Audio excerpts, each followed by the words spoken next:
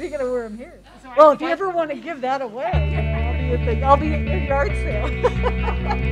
need some blues and golds. Yeah. Oh, yeah.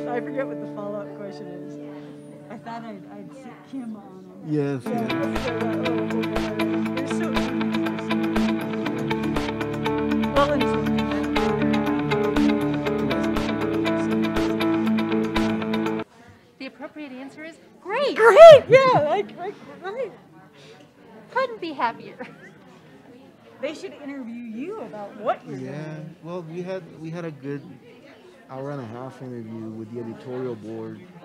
I think they, they haven't run it yet. About you know three weeks ago maybe. Yeah. But it was far ranging. That's not the same as being interviewed by one of their writers, so I think that's Yeah. what, that's what they need, is Yeah. to interview you for, Yeah. for a story. yeah. Or, and even a segment on uh, the TV news hmm. program. Have you been interviewed for that? No, not yet. Yeah. I will at the beginning, way back when during the transition. Yeah. But since Maybe then, I'll suggest that to too. I'll, I'll talk to Kim and suggest that.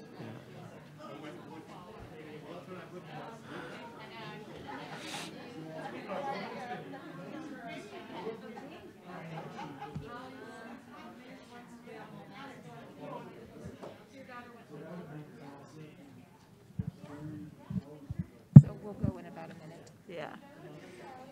You get everybody to come closer? Well, I guess not. We need to, I, I- it always reminds me of class when it used to really bug me when people It doesn't matter if you're an instructor, you I know. do that. I still want people to be closer.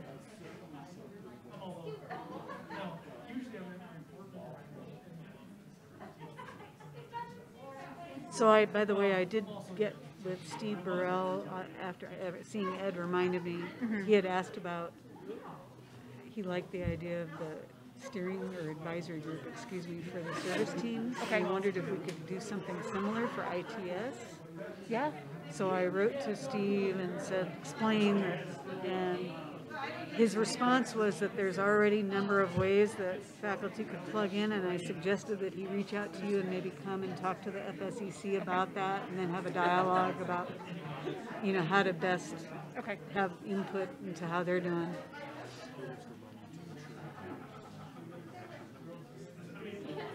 Uh-huh. So more pointed, okay, all right.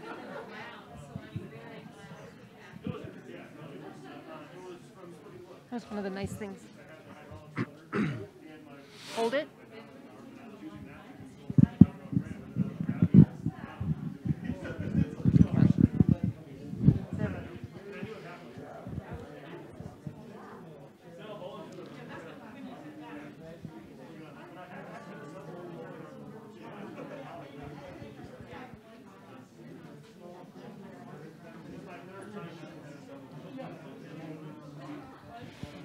Good afternoon, folks. I would like to call this meeting of the general faculty to order at 3:02 PM. Thank you for being here. I would like to make a correction to the agenda. The agenda actually has four items, not three. The discussion on shared governance should be listed as item number three, and the uh, teaching stream proposal is item number four. With that correction, may I have a motion to accept the agenda? Uh, Can I have a second? Second. All in favor? Say aye. Any opposed? Abstentions? Thank you. For those of you who do not know me, my name is Kate Ellis. I am a professor in the College of Arts and Letters, and I serve as the president of the Faculty Senate. I would like to thank President Cruz Rivera and Provost Pugliese for joining the faculty today for this meeting. I would specifically like to thank the Provost's office for providing the support for this meeting today. It is my very great pleasure to begin this meeting in recognition of Joya Woods, who led the Faculty Senate for four years. Her tireless efforts on behalf of the faculty at NAU, championing the principles of shared governance during a most challenging period, promoting the best within the Senate, and helped lead us all to last year's national, national search for a new university president. On a personal note, I thank you for your mentorship and the model of faculty leadership you have provided me. On behalf of the Faculty Senate and the generosity of its members, I present Joya Woods with a tabletop plaque in recognition of her four years as Senate President and dinner for two at Dahl and DiLuca Ristorante Italiano in Sedona. Thank you for your service.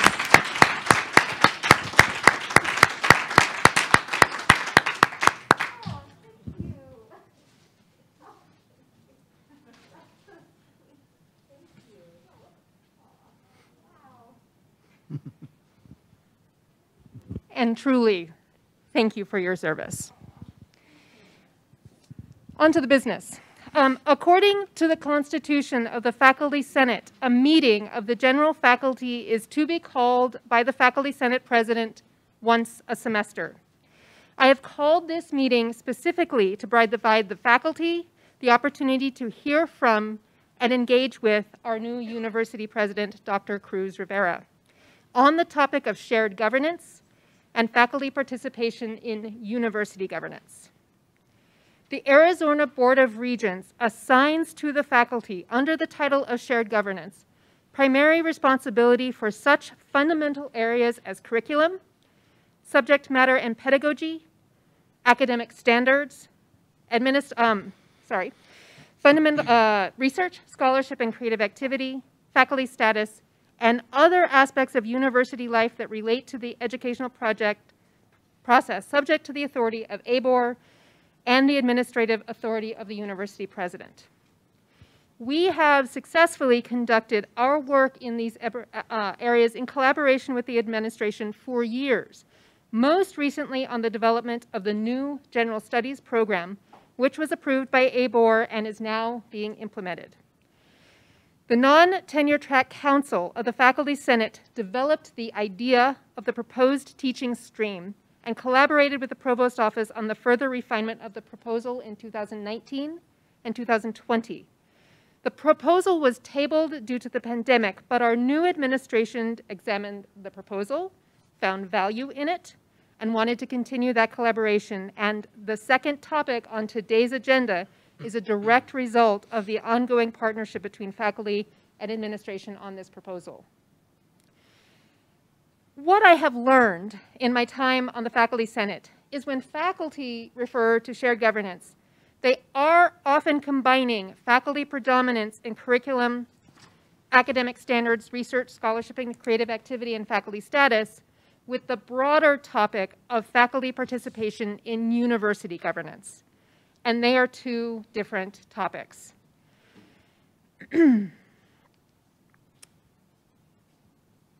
uh, we also we are concerned with issues of budget and budget allocation, the development and implementation of the university strategic plan, university organization, and the administration of the university, and how those larger topics impact the work we do as faculty. As we have a new university president, I felt the appropriate topic for the first meeting of the general faculty during President Cruz Rivera's new administration would be shared governance, and in particular, how he approaches engaging with faculty on the broader topic of faculty participation in university governance. President Cruz Rivera. Thank you, President Ellis, and thanks to all the faculty who are here today um, to be part of this conversation and those that are watching online. I thought what, that, what I would do is just spend a few minutes sharing some high-level general thoughts on university governance and the interplay with shared governance, um, and then perhaps opening it up to a conversation, understanding that the topic of university governance slash shared governance is really an ongoing conversation between the administration, the faculty, the staff, and the students, and all other stakeholders um, affiliated with the university. So really taking a very, very high level and a step back um, in terms of university governance, it's important to remind ourselves that the people of Arizona elect a governor and a legislature, and that the governor appoints and the legislature approves the members of the Arizona Board of Regents, who then in turn delegates the advancement of the educational attainment, knowledge creation, and workforce development to the presidents of each of the three public universities. Now, ABOR expects that the presidents advance these issues in the aggregate, so there is an executive council of all three presidents and the executive director of the board, um, and that they do so by mobilizing and engaging their local university communities and the myriad stakeholders associated with the universities in the advancement of each individual university's mission and the progression of their strategic and operational goals after delegating that on the presidents, then ABOR holds the presidents accountable on behalf of the people of Arizona. So those are the real uh, governance uh, leaders for ably discharging their responsibility within the complex structural, legal, political, cultural, ethical, financial constraints that characterize the higher education space. So that's sort of a very broad level. Now, the way I view the interplay between shared governance and university governance um, is really uh, with three, uh, through three lenses, if you will. First is just the recognition that the best way to advance a university's mission is for the president and his or her executive team to create the formal and informal consultative and deliberative structures that will allow for broad consultation that in turn will lead to the best informed decisions. All perspectives add value to the decision making, but it is clear, as President Ellis said earlier, and, that, and it is codified in uh, ABOR and this Faculty Senate's uh, documents, that the faculty um, perspectives must have greater weight, must have predominance in policy decisions relating to curricula, pedagogy and course design, academic standards and student success, and the faculty personnel process. And because at the end, which is the third point, at the end of the day, universities are really academic enterprises at their core. The best decisions are made, the best administrative and executive decisions are made when faculty, along with other stakeholders, are active participants in informing the university's work more broadly in the areas, as President Ellis mentioned, uh, including budget, facilities, etc.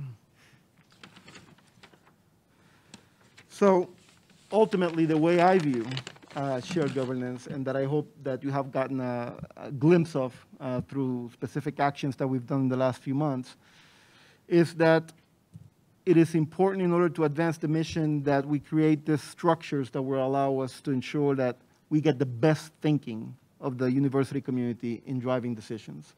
It's, it's a luxury, really, to have a faculty, to have a staff council, to have a student government that is actively participating in decision making. And it's something that needs to be nurtured and something that I'm very much committed to doing. Uh, some of you may uh, have noticed uh, along the past few months uh, some ways in which we have done that. Uh, from the way in which we appointed the uh, new provost, VP of Student Affairs, and VP of Research, how we engage with the campus community and the faculty in particular on those um, appointments, um, how we have handled the strategic roadmap process, which not only has been a consultative process that we've built uh, in consultation with faculty, staff, and students, but that we've made sure that we figure out what are the vehicles that we need to put in place so that everybody gets to participate, or at least that we remove as many barriers as possible. And so that's why we have listening sessions, why we have anonymous forms, emails, um, and we have a crowdsourcing tool uh, so that folks can uh, provide their, their input. Um, and I could mention a few more. I think uh, uh, one that I'm particularly um, uh, proud of, um, which is uh, really the, the uh, brainchild of our provost, is the Academic Leadership Assembly, because I, I think it provides a process for all of these issues where faculty have ideas and have a sense of urgency that the administration attend them that they are placed in a proper structure so that we can, uh, in, a, in a very structured way, um, take care of them. So that's really it. There's not much more uh, to that. Um, it's really a conversation. Um, it's really demonstrating that um, you value shared governance through your actions at the end of the day. And I know that I will be held accountable to that and, and welcome it. I will say that um, in, my, in my time in higher ed, I can perhaps share three signs of strong governance that um, I've experienced um, when you know that there's a healthy governance in place. The first is when um, the conversations between the administration, the faculty, the staff, the students, the alumni, you name it, right? Uh, we have the elected officials, the regents, is collegial rather than adversarial. There's no need to be loud, to be heard, or adversarial to be taken seriously. When that happens, when that is in place, you know that you have good governance. There's also good governance when you look at a campus or university community and you see that there's more time spent on securing, securing the coherence of the efforts of that community to advance the mission than time spent addressing unproductive internal conflicts.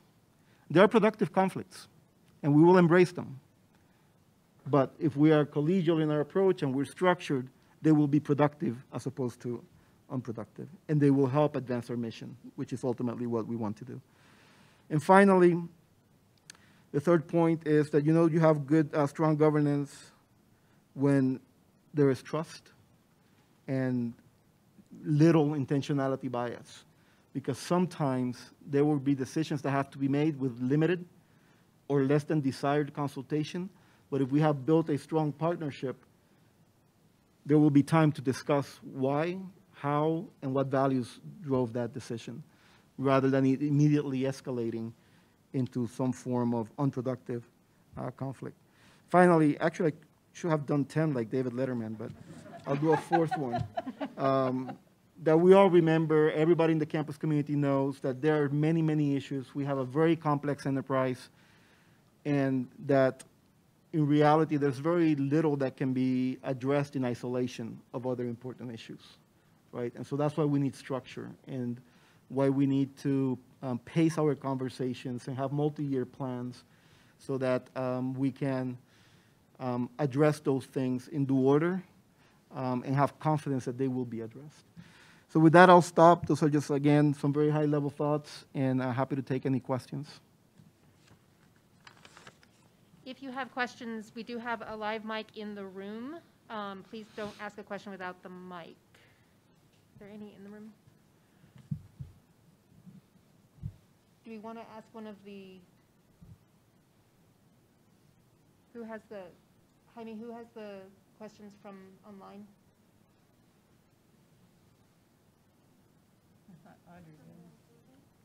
Audrey, do you?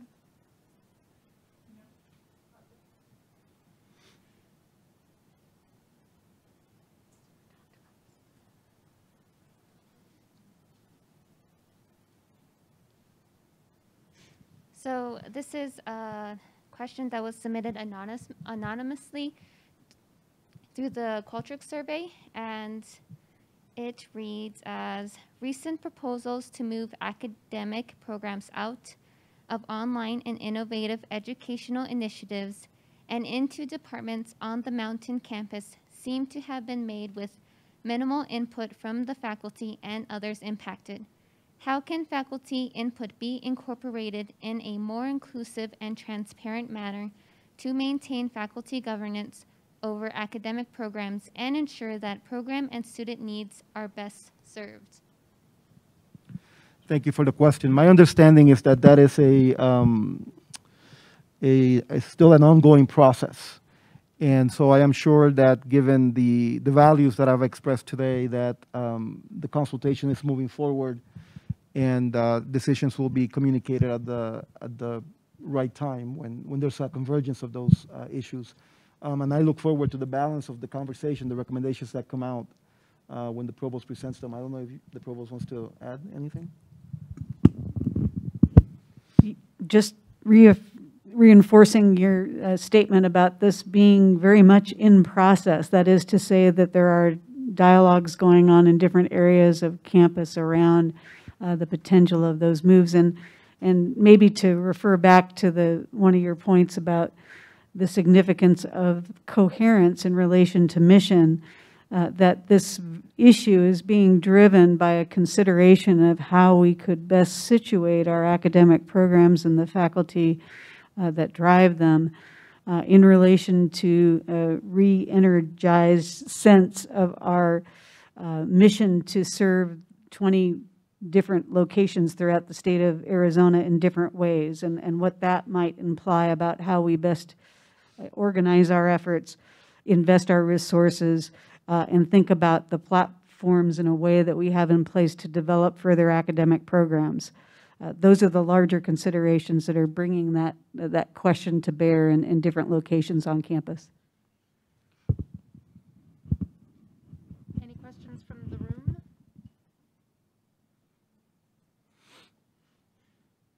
Thank you. Um, is this on? Yes. Yes. Oh, thank you for the opportunity. Um, uh, and thank you for identifying, you know, the, the three sort of hallmark features. And thank you, Kate, for opening with this idea of um, uh, being mindful of not conflating faculty governance with, you know, university governance. I mean, we have a board, and their responsibility, of course, and charge is to govern the university according to our mission. But we have responsibility and the right to participate in the construction of that mission. And that's how I see the, the roadmap functioning in particular. So I'm grateful for that opportunity. So thank you. Um, I have a sort of um, discrete question um, now that I'm a chair of a department, and I know that these uh, these discussions have been ongoing for several years, and um, I, I'm I, I guess I'm wondering what how we can imagine the chairs as a body to participate in faculty governance and shared governance. Um, we know that the Senate is the primary body wherein we exercise uh, shared governance, and, and I applaud that. I think it's appropriate. Um, and we know that there are different entities around campus who have different sort of consultatory and different responsibilities, which is appropriate. Um, but in the past few years, we've stumbled along and across the proper role of chairs in terms of governance. Um, chairs occupy uh, a, a pretty distinct position.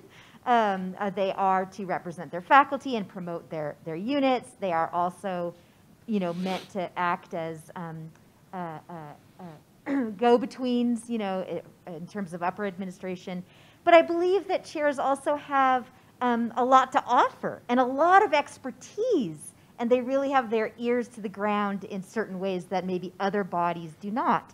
So I'm wondering how we can continue talking productively about the role of chairs in this Sure. in this idea of shared governance. Thanks. Well, thank you for, for the question. You're totally right. Uh, Chairs um, are positioned in a very important and unique place within the university. It's where policy and practice meet. And so it's really important to ensure that as we are advancing policy and practice, that uh, we are gathering the, the information um, and the thoughts and perspectives of our chairs. I think that uh, we've attempted, and I'll let the provost talk a little bit more about uh, that, um, to, to get that, to have a balance between um, broad participation and, and nimbleness. Um, the reality is that the university is facing challenges, and we have to be very nimble in, in our decision making, and we have to aspire to have the best possible information we can have, but within a limited time span. So the academic leadership, uh, assembly, and collaborative, I think, are ways in which chairs are, the voice of chairs are being brought in. But that is not to say that chairs cannot auto-convene and help inform work. For example, um, it would be totally appropriate for chairs within a particular college or across the university to look at the strategic roadmap as it stands today or as it will stand in the early spring and collectively put their thoughts uh, together. Um, so I think that's um, uh, the way I, I, I view it, but the provost may have her own thoughts. Well, there's a lot of years of chair experience in this room. That's all I gotta say. Uh, So I'm sure there's a lot of people that have different thoughts about this than, than my own. But, uh, you know, Joya, I, I guess the way I think about it, and I hope I don't, uh, I- I'm going to use the terminology that comes from a different arena to say th- that there's a certain kind of intersectionality uh, in the position of chairs in the university, and in particular, they're at the intersection of shared governance and university governance, is the way I see it. That is what makes the role of chair or director uh, among uh, the most challenging uh, in the university, maybe short of the president. Uh, But uh, it it is, because in a way, if you think about it, you're the stewards of many forms of shared governance that, that flow through the academic unit that you lead, say curriculum and faculty personnel process and things like that. At the same time, uh, chairs and directors are a part of the academic leadership, which is really a, a dimension uh, of, university governance as well. And so uh, I do think that is a, a very um, interesting space to be in. And in the, in the more practical uh, question that you've posed about how to give greater voice to, to the maybe unique perspectives that people in, occupying that space may have, there are or is the very two practical challenges around that. One is it's too big of a group to just incorporate into the assembly, which is something that we've thought about. And, and I do have an active consideration right now of a, a request to think about different ways to involve chairs more directly in that, either to add a meeting, have more frequent of the summits that we haven't yet scheduled, or some other means. Uh, And while Uh, You certainly, uh, as the president just suggested, have the opportunity as a group to self-regulate, if you will, and self-organize, convene, and, and we've encouraged that, and, you know, provide your input in some collective way around key issues like the road mapping. Uh, I know that that doesn't substitute for being at a table.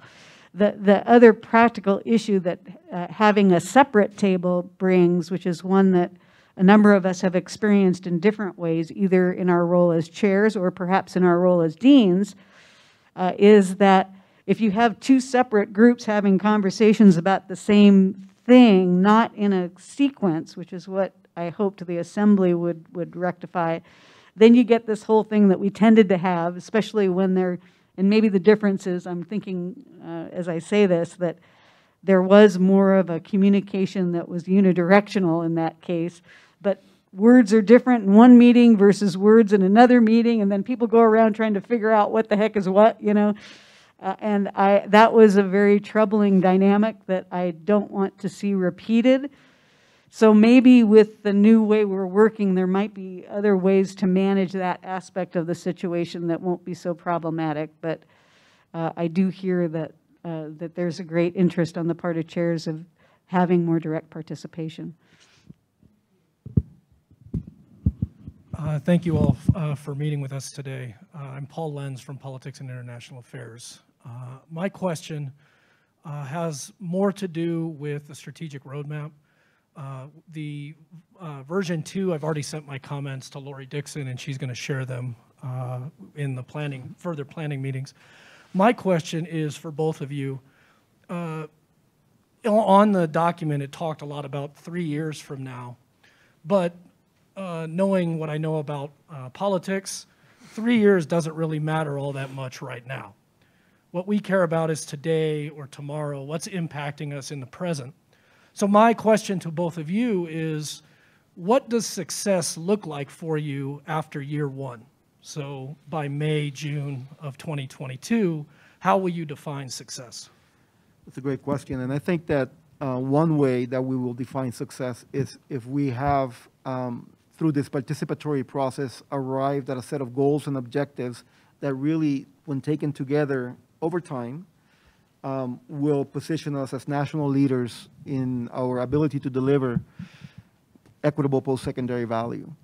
Um, that we have uh, also in this year um, set a foundation that will allow us to accelerate progress in the way that we're able to differentiate NAU from ASU and U of A in terms of the service that we provide to the state, uh, especially on, on the areas of, of access and um, in our ability to place graduates in uh, roles across the state of Arizona that has a multiplicative effect um, in allied health, in nursing, in teaching, in uh, climate and environmental sciences, et cetera.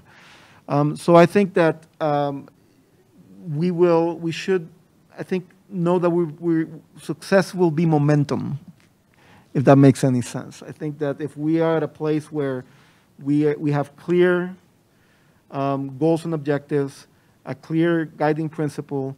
Um, the state recognizes that uh, we have differentiated value uh, from our two sister institutions, and uh, we are given the due consideration for that. I think that would be uh, success. And if we can do it all in love and harmony, more so.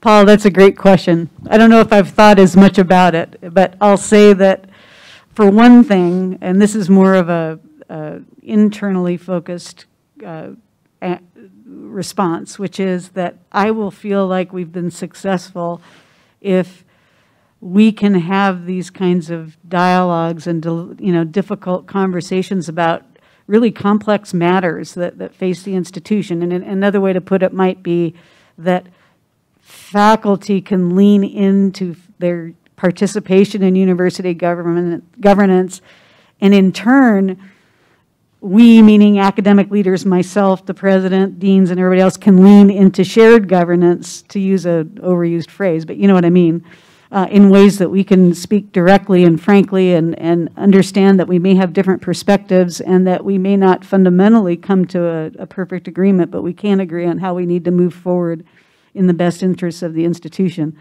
That would be a, a marker of success to, in my mind. The other thing that I would hope that we can do, and, and the first is a requisite for this second item, I guess, is uh, I think that one of the challenges we're going to face going forward in the academic division particularly is that if we embrace the principles, the, the, the larger goal, and then some of the uh, articulations that we have currently in the roadmap in the form of the objectives uh, that are ways to realize that larger goal, uh, is that we're going to need together to take a really close look at our academic programs and, and figure out how do we adapt them, move them forward in, in such a way that they will serve our students best, serve the different communities that our students come from best, serve our stakeholders uh, best.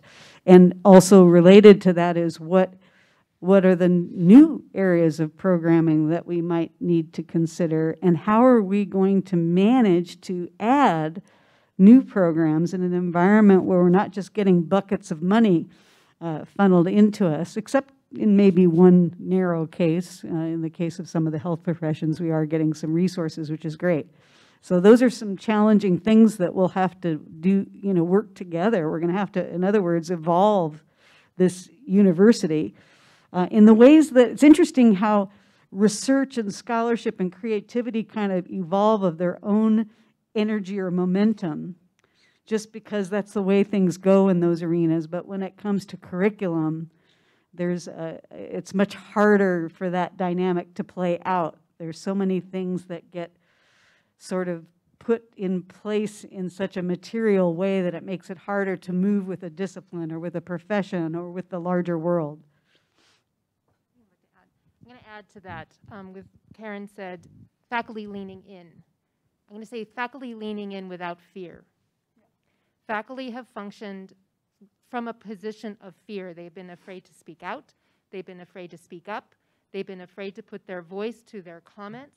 I mean, their name, I'm sorry, their name to their comments. And a really good goal for the administration and the faculty is that in a year, faculty are not afraid to speak up and say things that are counter to what the administration is saying. That is a position of power for the administration and especially for the faculty. I have had so many faculty contact me, and I know Joya experienced the same thing, of faculty reaching out and saying, I want this comment, I want to find, but don't use my name. Don't use my name. And that would be a huge step for all faculty and the community as a whole if faculty are no longer functioning from a place of fear like that. Yes. Yeah, hi, Alexandra Carpino. I'm the parliamentarian of the Faculty Senate, and a lot of confusion comes from the fact that we have such outdated documents that, um, you know, a constitution from 2003, bylaws from 2013. So I just was wondering, I know you're in conversations about updating these documents. If you could maybe speak a little bit to what you find um, positive in the current, in the revisions that have come forward, um, and then maybe what some of, what are some of the challenges that perhaps you see that that we need to to work on Sure. as a Senate. Thank you. Um, I'll say that uh, my expectation is that we will have new documents in the spring. Yes? And I will uh, let uh, President Ellis and Provost Pugliese say a little bit more because they have been directly involved. But what I've seen so far, what I like um, is there's a um, additional clarity um, around university governance and, and shared governance. And I think that will be helpful um, as we move forward, but I will turn it over. so much work over so many years has gone into this. And um, Joya Woods and Bruce Fox and, La- and so many people um, have been working on this process. And um, the a constitution, a, a proposed constitution and bylaws was presented to President Cruz Rivera upon his arrival at NAU. And there were questions and concerns, because there's always going to be, and it was not unexpected with a new administration that there would be new and different questions. To that end, Provost Pugliese, Lori Dixon, and I have been meeting weekly or longer. Um, in some case, and uh, we have a constitution that I also then sent back to Joya and Bruce for their review, and they were happy with the changes and the revisions that were in process. Um, and we're, we're in process. The goal is to, this semester, before the end of this semester, um, get the, uh, a working document, not that will be approved by the FS, by the FSEC or the full Senate, but a working document to um, the legal, both to the president and to legal, to NAU, the uh, counsel office, for review. Because that's been one of the challenges that we've had, is that the faculty senate has approved a, a constitution before it's gone to counsel's office for review. So I'm kind of switching up the process. So we will get it to the president and we will get it to counsel's office at the same time that it will also come back to members of the FSEC for review. Once it is reviewed by the president's office and counsel's office and wood somewhere, knock on wood, approved, then we will bring it back to the FSEC for full approval, for full review of faculty rights and responsibilities and the FSEC, and then to the full Senate. With the goal that the next meeting of the general faculty that I will call in spring will be to approve the, to discuss and approve the, to discuss and then hold a vote later in the semester approving the Constitution. That's the update I can provide.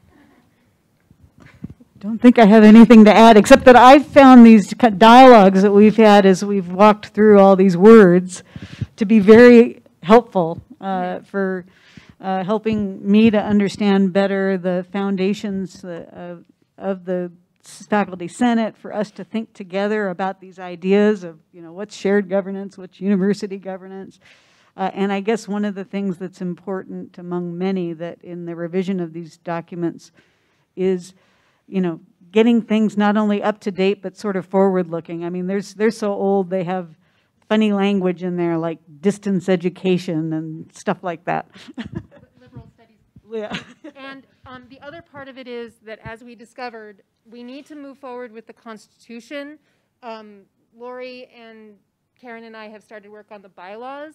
But the first thing we need to get done is the Constitution. And so we've, we've worked on it and we've looked at them, but we really want to push forward the Constitution. So the Constitution will come first and then an update to the bylaws, which is a much more laborious, larger document, um, will be next in that process. But my goal as at least a one-year uh, faculty senate president, who knows, next year, would be to get both done within a total of two years. So this year and next year to have an updated current constitution and updated current bylaws by the end of next year, hopefully sooner.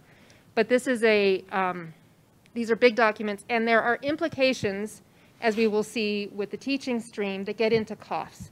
And so you make a change to the Constitution and you make a change to bylaws, it impacts COFs, it impacts the faculty. The, the ripple effect of making a change one place is massive.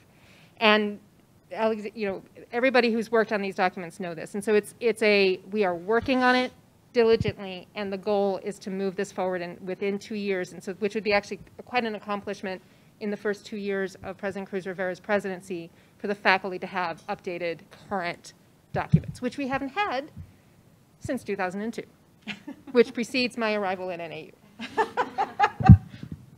Were you even born then? Yes, yes, I was born then. Next question. Um, my question. My question is a, a follow-up to Alexandra's question. Um, is there any progress in updating the COFs, the Conditions of Faculty Service document? Not yet. And that and that and that simply comes in line with if, for instance, there are if down the line the teaching stream proposal is moved forward. The implications of that line, of that change, is massive for COFs. And so COFs is in a holding pattern. Um, although work is proceeding on it, um, there's the review of Appendix C of COFs that's a working group right now that um, Astrid is leading up. Are there any other that would impact COFs? Um, I should think about this. Uh, I'm looking around to my colleagues, any other that, maybe the, you know, the faculty workload group, maybe, although, you know, we, the other thing we have to figure out, and we haven't really focused on this, although it's surfaced in our conversation, is we have some things in COFs and then we have some things in the faculty handbook. And maybe we want to think about putting it all one place. I don't know what, you know, there's implications, and I'm not saying I have an a priori notion of where things should go. Uh, But I do think we need to think about that question. And so there's, there are a number of things happening right now, as Kate just put very well, uh, that would change COFs. And so it really in sequence, I think that needs to come later. So we've talked in the provost's office about spring being a time when we can focus on COFs, uh, you know, with the Senate, but uh, I'm not sure if it's early because we have, you know, we'll have to see what makes sense in, in light of, you know, the effort it takes to change it. If we put things, render it, render changes now, then we're going to go back and have to change it again. It seems like while we're doing all this stuff, we might as well put it all together in a way that's uh, consistent. And the goal will be to not have to go backward. And if there's a, a working group dealing with COFs, I, I do think there should be a strong representation of chairs. Um, we're the ones that get kind of stuck in the middle with the COFs' lack of clarity. I, I agree, yeah. Let, um, let's, do you have any questions from online? New ones? Any new questions from online?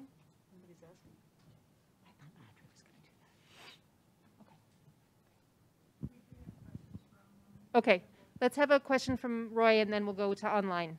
I just want, I just want to follow up on the COFs um, comment and mention that combining that with the faculty handbook has its, um, has a negative aspect insofar as a lot of the things in the faculty handbook historically have been sort of operational in nature, and you want to be able to nimbly change those as needed without affecting um, underlying principles that need broader buy-in. So I would caution against an approach that combines those two documents. I I actually wasn't suggesting just merging them, but just there are things that are in the faculty handbook that might, just in our conversations, certain things that might appropriately be placed with COFs, but I agree, yeah. So there's a question online? Yes, the first question, can you guys hear Yeah, me? yep. Okay. First question is, can President Cruz Rivera please speak to the role of graduate programming within the overall mission of NAU? the role of graduate programming? Well, within the overall mission of NAU, we are certainly committed to ensuring that uh, we are preparing uh, Arizonans for the new economy. Uh, one of the things you've heard me say in a few other forums is that while the state of Arizona is uh, among the top in the country in attracting new jobs, new high-paying jobs, and attracting um, new investments, it's in the bottom uh, of uh, educational attainment in the country. And so those jobs would not be going to Arizonans unless we really accelerate um, educational attainment. And the reality is that graduate uh, programs, um, graduate degrees, will be increasingly important um, in Arizona's economy. So we should be right uh, front and center there, uh, doing everything we can. Of course, it's uh, always, as I said earlier, nothing in isolation. So we want graduate programs, but we want more um, uh, undergraduate students, and we want more transfer students, and we want more and more and more certain things that we need. So we need to put it all on the table and, and figure out how we're going to balance it. Since now online. Um, Thank you for this forum. Would President Cruz Rivera and Provost Pugliese say something about the challenges that they recognize slash identify NAU currently faces? Challenges that we identify. I think the challenges um, are very similar to the challenges that public higher ed institutions are facing nationwide. Um, we have an enrollment challenge. For the last four years, enrollments have been going down. Um, and when you think about the way higher ed, public higher ed institutions are funded and how they're funded in Arizona, that's a problem. That's a challenge. Um, because we have three main sources of revenue the state, tuition and fees, and uh, grants and contracts. And so at some point, we have to figure out um, why it is that our enrollment is, is falling, how we turn that around because not only because of the finances, but because of the fact that we have this huge moral responsibility to expand opportunity, right? And we know we're good at what we do, and so uh, we need to make sure that we're uh, providing access to more students across Arizona, not just in Flagstaff, but in the 20 other um, statewide sites, um, as well as online. So I think enrollment is, um, if, I, if I were asked what the top uh, worry for me right now is, is enrollment, uh, both for the fiscal and for the um, opportunity cost for Arizonans if we don't uh, increase it.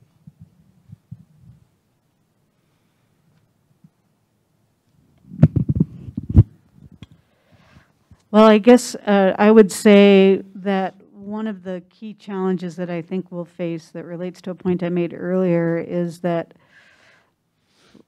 also, like other institutions across the country are facing, that we have to be uh, able to serve uh, a changing uh, population of students, and maybe I could say an expanding population of students, especially if we think about our, our renewed focus on serving non-metropolitan communities in the state uh, in a way that produces equitable outcomes.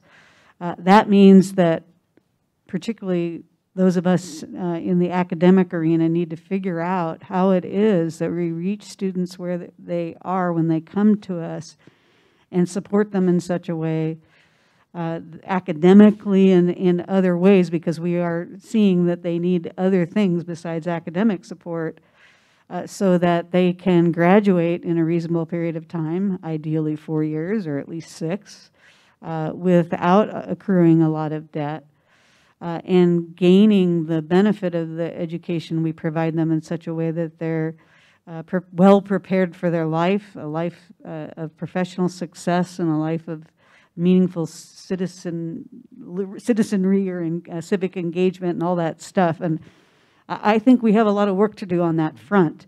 Uh, we've done a lot of work at this university. The faculty have done a great deal of work over many years. I'm very well aware of the many innovative things that uh, faculty across NAU have done in this regard, but uh, I'm uh, also well aware that we have much more to do, uh, and it's getting harder, I think. Uh, I think we're, all of you that are teaching are seeing firsthand that the complexities of what students present to us as learners is growing um, maybe exponentially, I don't know, that might be an overstatement, but uh, things are, are harder now than they were when I started teaching so many years ago in many regards. So that's, that's probably top of my mind.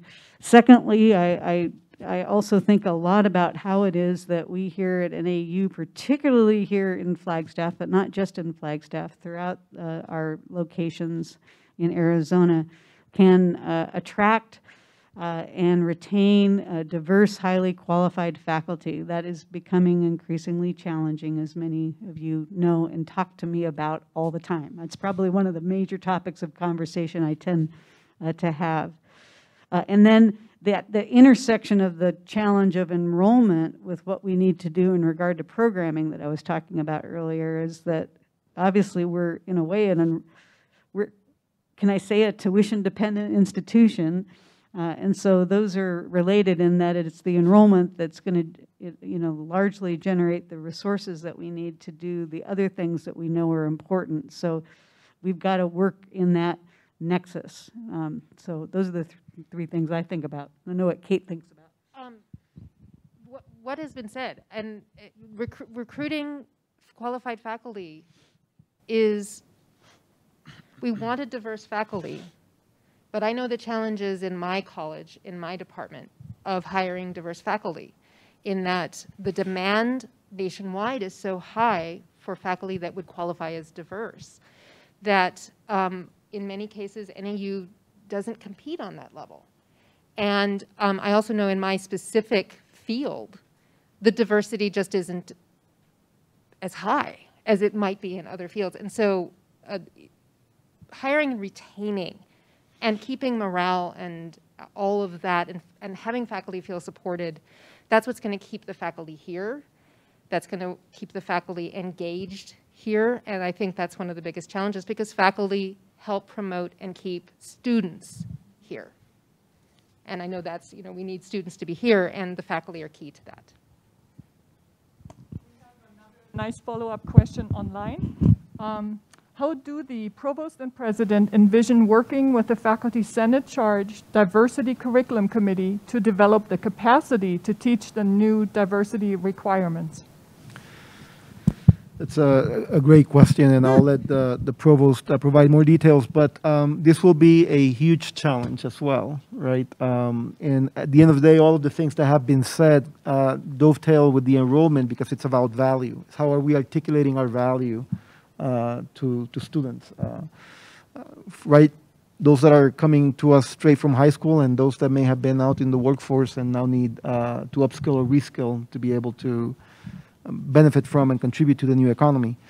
Um, so I think that as as we work to implement this uh, general studies curriculum, there are so many opportunities for us to really um, articulate that value through our programming um, that will then uh, yield uh, incredible benefits to us. And of course, um, to the point that uh, President Ellis was making, um, we, we need to figure out a way to provide the professional development that's needed in order to make sure that we can uh, present that, uh, those new courses uh, in a way that um, adds value to our students as they develop.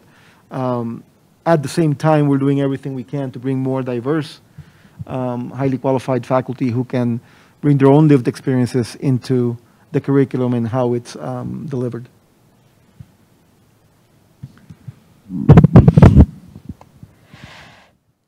I guess that I see, you know, two strands there that, that the president touched upon, which is first and foremost, we need to together develop our capacity to implement this new program. And that means we all have to be students and learn. We have a lot of expertise in-house, maybe not enough. Uh, I'll come back to that.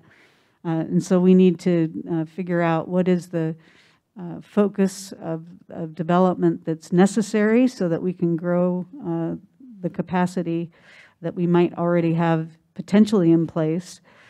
Uh, and we'll need uh, the expertise of faculty from across the university to do that.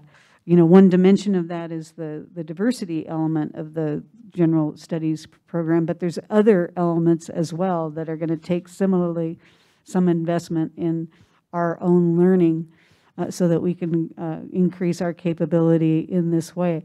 But yes, of course, along as we move forward in time, when we recruit new members to our community, though, that has to be foremost in our mind. And I'm happy to say uh, that in the recent round of uh, proposals and, and so forth for uh, bringing in new faculty that the deans rose to that challenge and they all considered the, the general studies program and what its implications were for their areas in what they put forward. And so that was one of the factors that was given some priority. So we are looking at bringing in, hopefully, if we're successful, uh, new talent uh, to add to the talent we already have uh, in the context of those uh, hires that we'll be hopefully making this year, uh, there are ideas around how those can create clusters, some of them within colleges and some of them across colleges, uh, that are centered around bringing uh, people together and supporting them once they're part of our community to make a real difference in helping us to implement this curriculum, but also to do the many other things that we need to do around diversity, equity, inclusion, and justice. So uh, I hope to follow up on that. I hope we're successful in this in, the, in this endeavor, and then follow up on that. We have another uh, thing that we're going to be looking at, which is an idea that I'd like to explore uh, around bringing, uh, in a sense, what I call pre-faculty here uh, to try to find a place of some advantage in recruiting uh, with the same idea that, that we need to change who we are as our students change and as our curriculum changes. And so we'll be doing that, but that happens obviously uh, over time.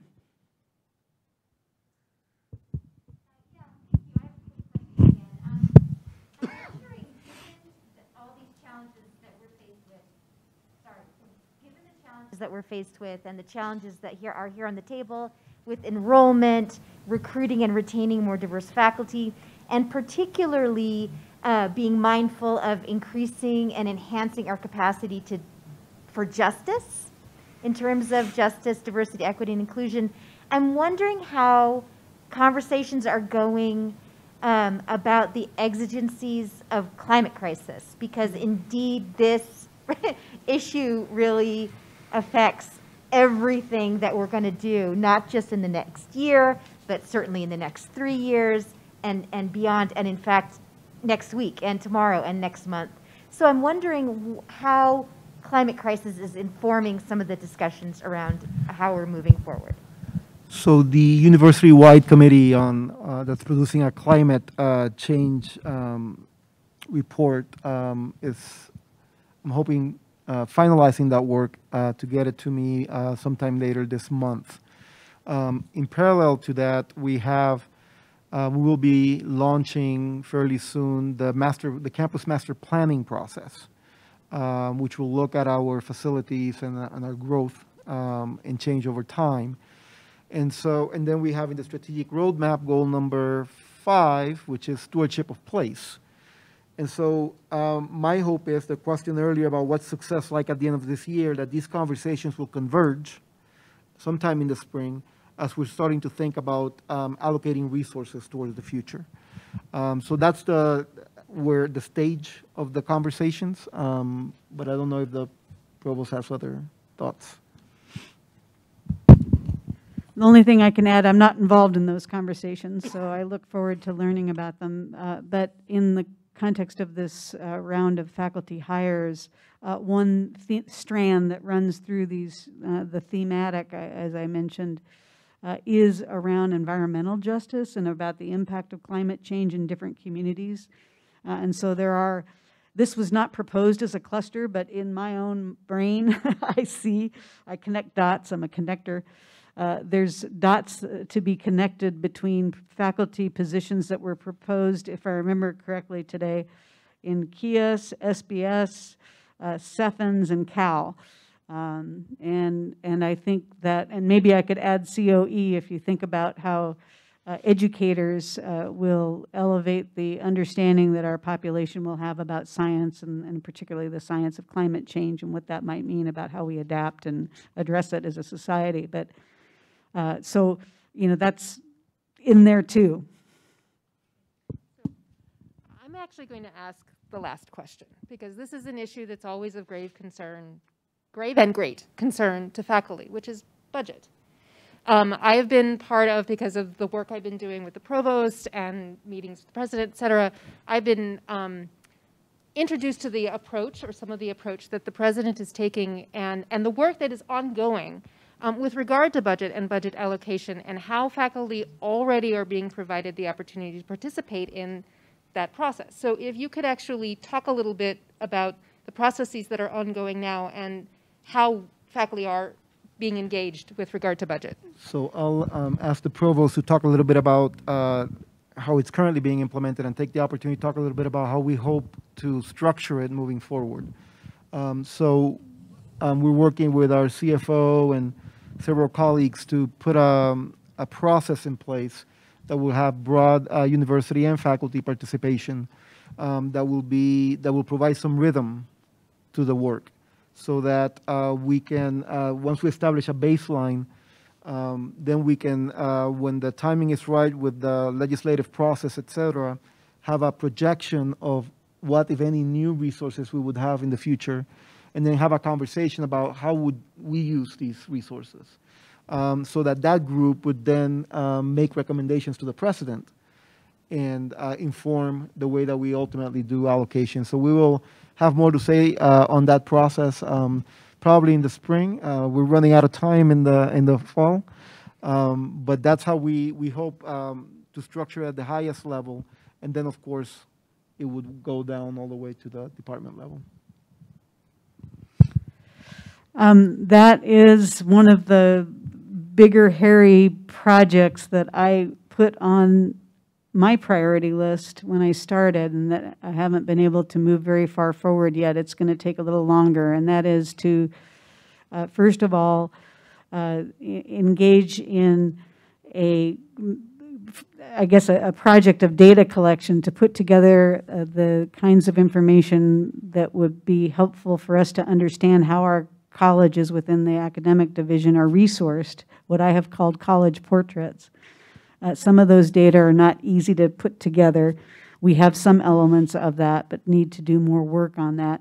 And that's just the first step, because I feel like, from my perspective, that that's the first thing we need to do, is sort of understand what do we have in place. Historically, at NAU, budgets have been incremental. So what we have are kind of historic budgets. Uh, I can't even put a time frame on when the budgets for longstanding colleges were established. You know, with the exception of CEIAS that was put together recently, there was a recent budgeting process. Everybody, every other unit's budget has gone up and down with the vicissitudes of funding and enrollment and uh, and the other kinds of dynamics that change budgets, most especially in the case of personnel. So faculty get hired, that adds to the budget. People get promoted, that adds to the budget, that kind of thing. Um, By the way, the other thing to recognize is that in the academic division, the budget is almost all salaries. So it's not very flexible, I guess you could say.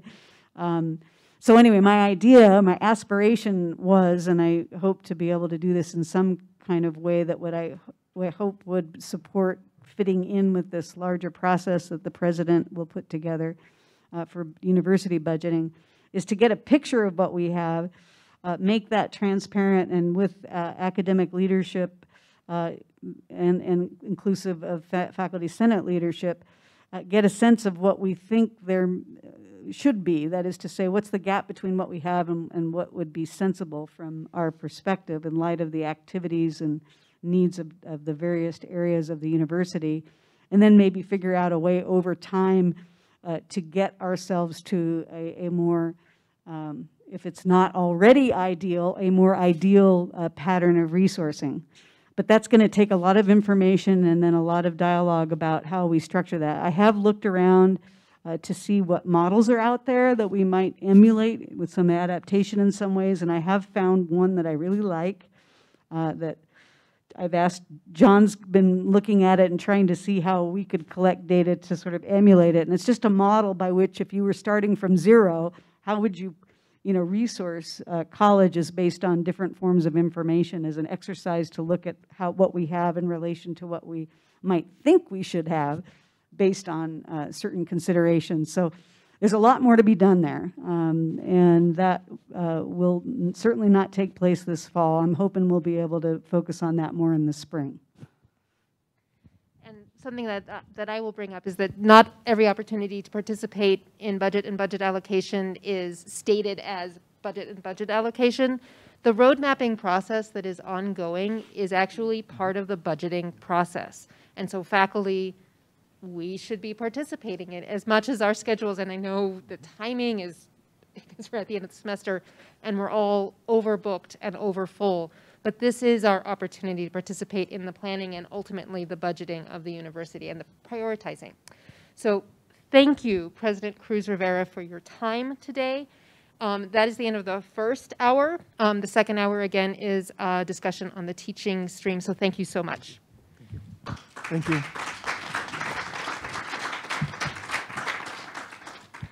So the second half of this meeting is a discussion regarding the proposed teaching stream. The teaching stream is being worked on by a working group charged by the provost, and uh, the working group is currently being led by uh, Roger Bounds and John Georges, and they're going to join, join us up here. And I know that several members of that working group are also currently in the room, and so could also potentially answer questions. Uh, and so I will hand it off to John and Roger. You need a second? First, it is really, really good to be having this conversation because this is not a new conversation. I'm seeing some nods. There's a lot of folks in the room that have been talking about this for literally years. And so it's an ongoing, multiple year conversation that we've been having. Um, there's not really enough time to talk about all the people that have been involved. But what's new, we can't talk about what's new. What's new is momentum created by the ALC process. This got brought up as an important issue, and the existing process has prioritized it as an important issue, and then a task force got created. So we're getting momentum, so that's new. There's also engagement at a lot of levels, so a lot of voices are being heard, and even more so, there's a lot of support at all levels for getting something done. And that's That's huge. So with that said, John's going to walk us through a couple of slides, and we'll have some opportunity from the task force because there's been a lot of perspective to get here. It's just a few slides, but it's an awful lot of work and talk and conversation that got there. So we want you all to be able to ask questions and say, why this, why that, why not this, why not that? And then we'll have that conversation and get to something even better. So.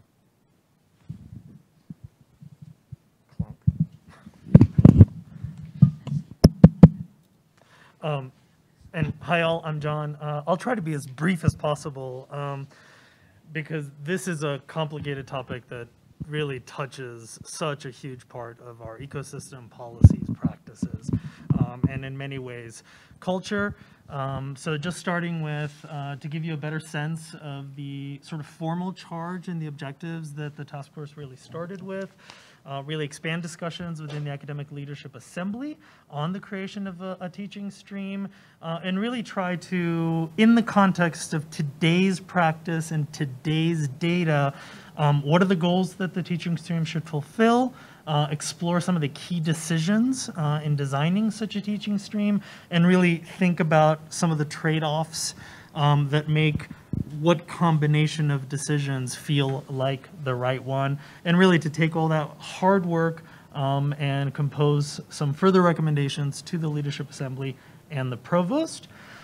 Um, here is a quick run through of our membership. Uh, hopefully you'll notice uh, a wide breadth of representation across um, different experiences, lived experiences of faculty life, um, and a broad uh, representation of disciplines. Um, I'll impromptu perhaps, can I ask you all to just stand um, and, and be recognized for the incredible hard work um, that this has been. Um, a little bit of what we've done so far and how we started. Um, so we certainly uh, took a very close look at our current faculty stream and rank definitions in the conditions of faculty service. Um, we started by looking at current today's data of what do the faculty compositions look like uh, in our colleges. Um, we, of course, uh, carefully referred to prior material from the long history of conversations about teaching stream, uh, both the conversations that have happened in the provost's office going back at least five or six years, uh, at least longer. um, and of course, the much more recent recommendations from Faculty Senate and the NTT Council. Um, we looked at exemplar teaching professor and teaching stream designs from other institutions um, that have, especially in recent years, uh, created uh, such streams. Um, and of course, we consulted with human resources. There are some uh, nuanced idiosyncrasies of thinking through this process um, where we felt that human resources input uh, would be valuable. And just a quick clarification, when we say stream, we're talking about the different flavors of uh, titles that faculty might hold. Clinical track, of practice track, lecture series. So we're calling those streams. And then rank is the various levels within those streams. Those terms did get confusing even amongst ourselves when we were talking about it a lot. So we just wanted to make sure everybody's hearing those words the same way today. Awesome. Thanks, Roger. Um, we tried to take a stab at sort of framing this work by starting, uh, well, what are, what are the marks that we want to hit? Um, and, and here's a sense of what those goals were. Um, one of the goals that we thought we could help promote, um, and that's it's related to goal number one, inclusive academic excellence from the emerging roadmap, um, which is to really uh, expand the adoption of high impact practices um, aligned with pedagogical excellence. Um, the second one is really think about expanding the adoption of practices that support the needs of historically underserved, underrepresented, and marginalized communities. And again, that's connected to roadmap goal number two. Um, and finally, um, and of course, last but not least, um, really enhancing the ability of the institution to recruit, retain, and develop a high quality, mission driven faculty body. And there's a lot uh, more to say, hopefully, um, on that as we maybe reflect in later slides about how we think uh, we've hit those marks. Uh, So without further ado, and before we dig into the details, it's important to state here that this um, conceptualization, this status update that we'll share about the teaching stream, it's not a locked one, it's not a concrete one, it's not a ossified one. Um, This consultation and conversation is really a part of the process, and we're excited to hear um, your reactions to this. Um, but this is sort of where we've crystallized or where we've um, reached consensus on today uh, in the task force. So defining the teaching stream fundamentally uh, across sort of two dimensions, uh, broad contributions across a wide spectrum of activities, and a fundamental focus on advancing curricular excellence. So you'll see there a definition of responsibilities that capture some of these notions, an expansive breadth of teaching and mentorship activities, and an essential mission that is focused on advancing curricular excellence in the discipline. Um, minimum qualifications of a master's degree in an appropriate discipline, uh, but of course with unit autonomy as exists today, uh, oh, sorry, on specifying other requirements that might be necessary, uh, promotion criteria that are aligned with the responsibilities. Um, and this is in many ways patterned uh, after what you would see today in our faculty stream definitions and COFs. Um, and then some things that you won't see in COFs, uh, but we thought were really important to call out in an explicit way, and that is uh, salary benchmarks for the teaching stream um, in, a, in an aligned way with the clinical and the practice streams that exist today. Um, and for multi-year appointments, aligned eligibility criteria for the clinical and practice streams. Now, those are still being developed, but the recommendation of the task force right now is whatever the eligibility or however the eligibility is defined for clinical and practice streams, that's um, how the teaching stream would be defined as well. So on money and on security, the same. That, that's, the, that's the point being made there. Um, now, of course, there are many implications uh, of this conceptualization across many different pieces um, of what we do, but some of the more direct implications are obviously on the lecturer stream, because in many ways, what the teaching stream does is it takes what a substantial portion of faculty that are today in the lecturer stream might be doing, um, and it sort of gives it its own unique identity. So a key question is, well, what does that mean for the definition of the lecturer stream?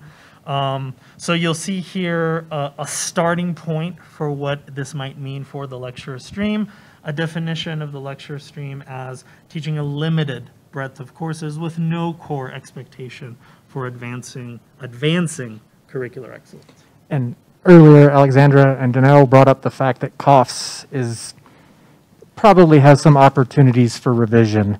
This is just going to create a few more of those opportunities because the ripple effects of defining one and the other. Um, and uh, yeah, so that's where we are today. You'll notice um, there's no salary uh, and multi-year appointment benchmark. I think these are continuing active topics of conversation um, as we need to think through uh, those topics a little bit more. Um, there's also other emerging uh, recommendations. As Roger alluded to, for sure, we're going to need to revise COFs in order to create a teaching stream. But I think beyond that, there are many opportunities for improvement in our current faculty stream definitions. I think um, the fact that what we see today reflects an evolutionary history without, I'm almost sure, a, a pause and a very holistic sort of review and revision of all of the streams in a coordinated way. Um, and we certainly think, as we have delved into those descriptions, that that would be a very much uh, worthwhile effort.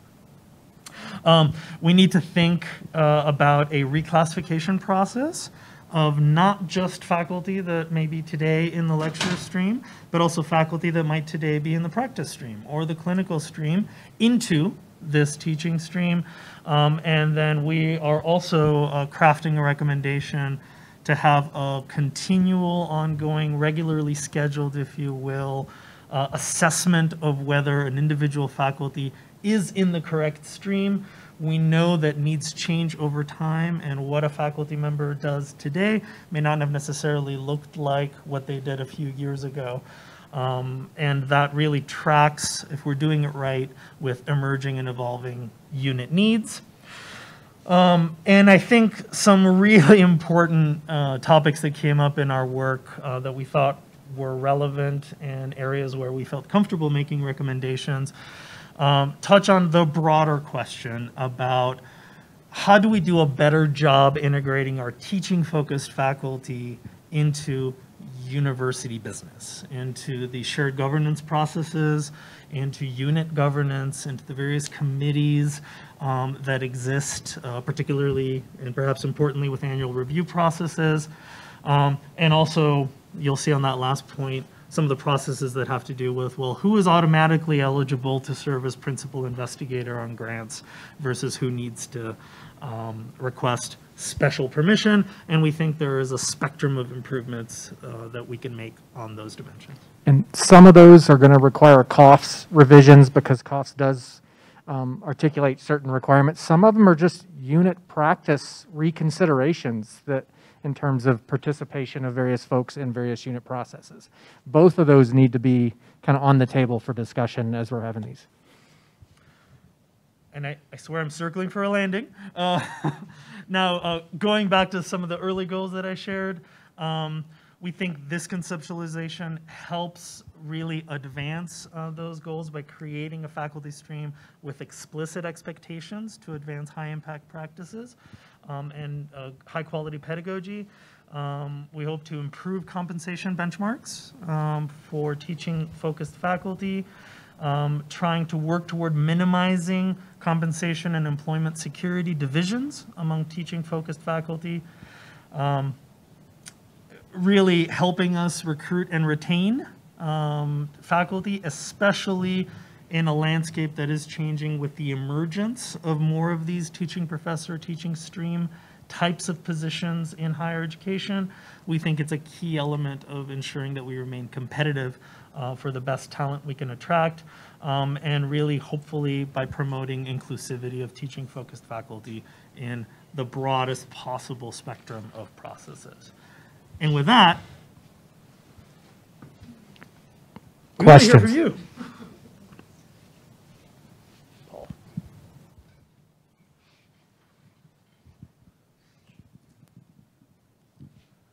So my question, it's probably, it's, it's more of a two-part question. Uh, number one, with the hiring of, uh, or the, I should say the conversions and then uh, any future hiring, is this going to limit the number of tenure track hires that there'll be uh, university-wide? Uh, since we are focusing now more on teaching apparently, uh, according to what's been presented here. And my second question is, does this lead to the eventual elimination of, of tenure? What, uh, what security uh, does someone who gets a conversion, uh, what, secure, what job security do they have? You know, what benchmark, you know, if you are on the tenure track, you know, you're wanting to achieve tenure, what type of security would, the, would there be for somebody who was on this teaching stream? Well, first, thanks for asking the easy questions first. Um, that, that's a, that's an interesting comment, and I'm, I'm probably going to punt here in just a second just to have some thoughts. Is I don't see that, those being as connected, but I want to make sure I validate your question because if you're asking it, they're connected in some way. So we need to have that conversation. My first point, and the reason I'm pointing at the provost is this just gives a different opportunity to have a series or a, a track of faculty that meet different needs. We're always going to have the needs that are met by tenure track positions, and we're seeing that there's another recent investment in that, and I would not expect that to change, and I'm kind of looking, hoping for acknowledgement on it, that that's our goal moving forward. So I don't see those as connected as you might suggest in that question. Is that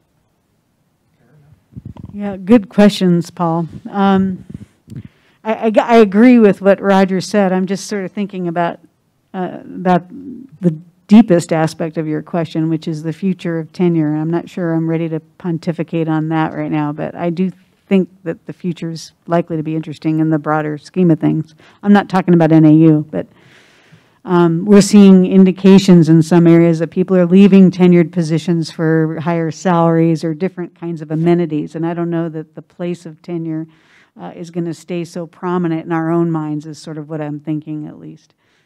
Um, I, I agree with Roger that uh, I don't see the movement to establish this teaching stream to be in any way antagonistic to tenure as an institution, nor antagonistic to a, a priority as it plays out differently in the colleges around bringing on more tenure eligible faculty.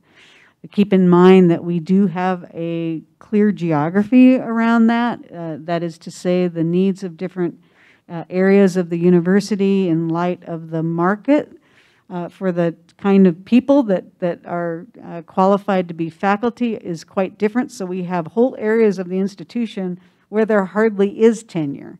And there probably will not, and that's one of the areas where the, the value of tenure seems to be like going down. And I'm saying the value of tenure for those that are seeking positions, such as in health professions is what I'm talking about. Um, so I don't know that that's going to change. Um, uh, so I think in my mind that what this will do is better situate our faculty that have a teaching focus, have a special uh, expertise to bring to bear on pedagogy and curriculum uh, in regards to obviously compensation, in regards to uh, clarity of the nature of their appointment. I think it does matter to refer to those faculty as teaching professors uh, because I believe that language matters, symbols matter, uh, and that uh, affiliates, if you will, a designation that has his, you know, in our culture has been one of honor uh, to the work that, that's being done. Uh, it does not link tenure to these to these to this stream, uh, and so that there will remain that difference. But we just received. Well, we're in process. I got to be careful. Uh, the board is this week, hopefully at the end of the day, Thursday, I'll be able to send out the message that the Board of Regents has approved a increase in the quota or threshold of multiple year appointments that we're allowed to, to give. Right now, we're like right at that ceiling, and we can't go any farther. Uh, what that means exactly, there's some things we have to look at in a numerical analysis, a quantitative analysis, because the board was very clear that they don't want us to, to be in a way, you know, less than fully thoughtful about how that uh, different kinds of practices might play out uh, in the event that we have an area that needs to change. Uh, so we do want to move forward with the practice that we started to implement uh, to the extent that we've been able to, which is to link the multiple year appointments to promotions uh, which means that they're you know really linked to the strong performance that our uh, faculty in these streams will uh, demonstrate. Uh, how far that will take us in terms of you know uh, is it going to be the case that we'll be able to guarantee that every person when they reach that first promotion is going to be able to get one? Not sure yet. We have to look at that to be all to be you know perfectly uh, transparent.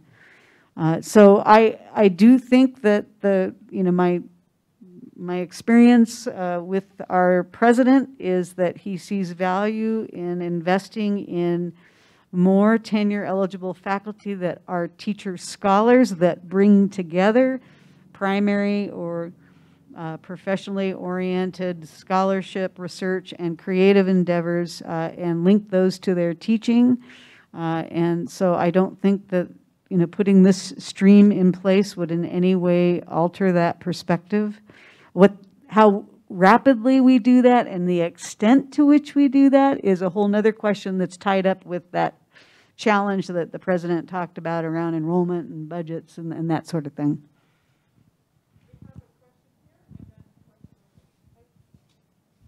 All right. Um, these questions are from the Qualtrics survey.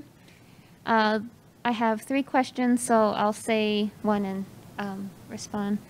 Um, so the first will is will current promotions in the lecturer line translate to similar positions in the teaching stream?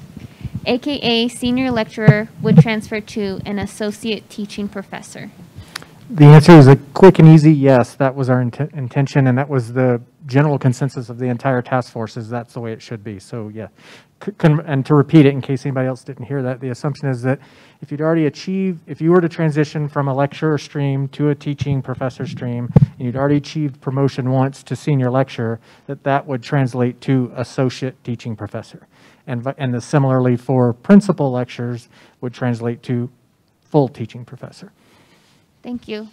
And so the next question is, will departments have final say on terminal degrees for specific positions? That, yes, Ramona said yes. So,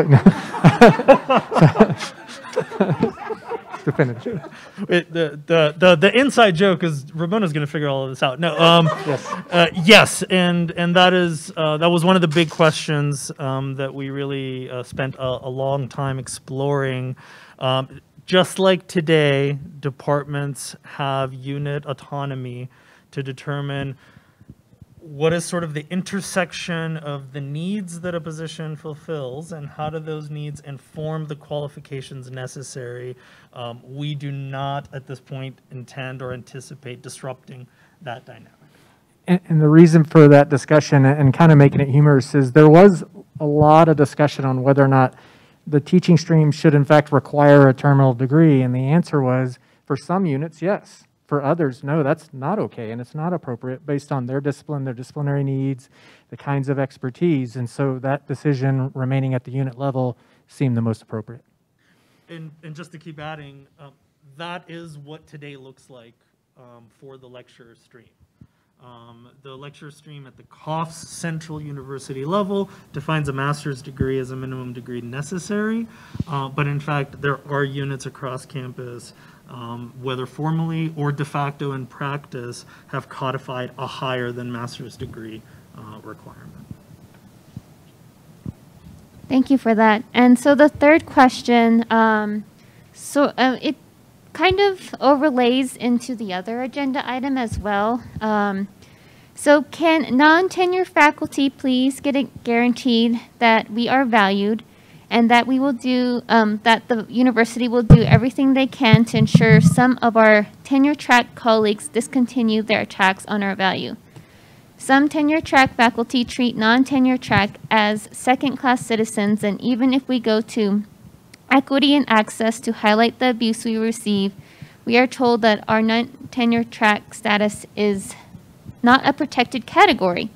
Um, NTT are an incredibly important part of NAU's success. We are just going to see more and more NTT leave. As the administration does nothing to address the bullying treatment from some tenure track faculty, why is that some tenure track faculty can teach poorly, do minimal research, and bully others, yet they cannot be fired, especially when quality NTT faculty were fired during, the during COVID?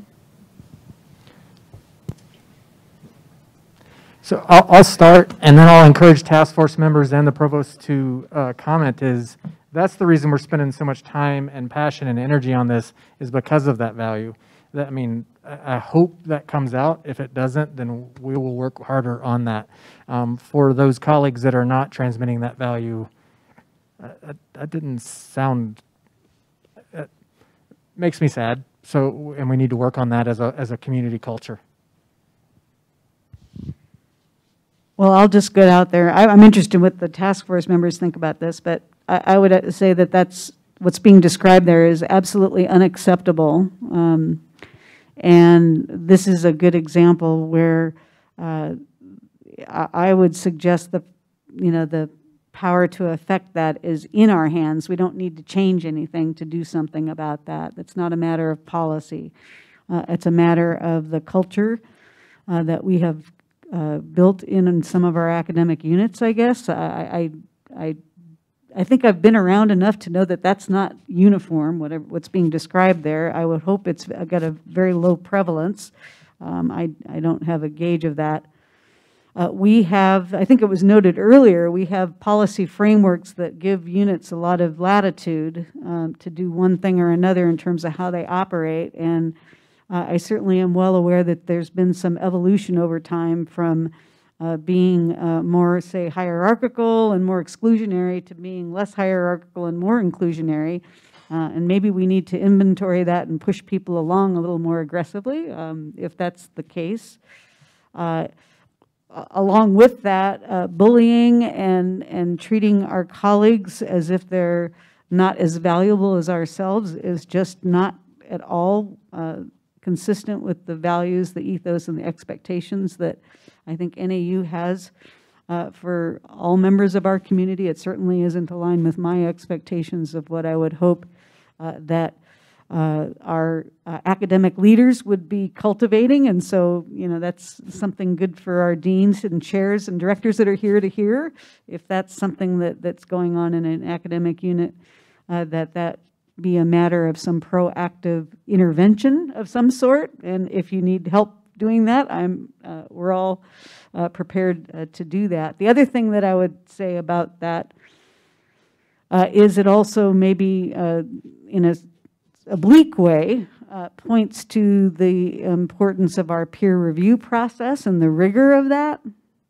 If we have people that are not performing to our mutual expectations, somehow that feedback should be conveyed.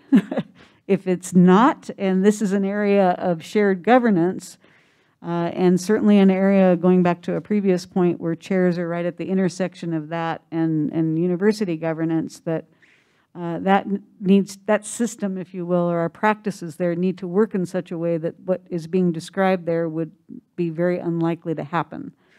Um, I'll just say that. Uh, So I, I'm- I'm, as the provost said, not acceptable.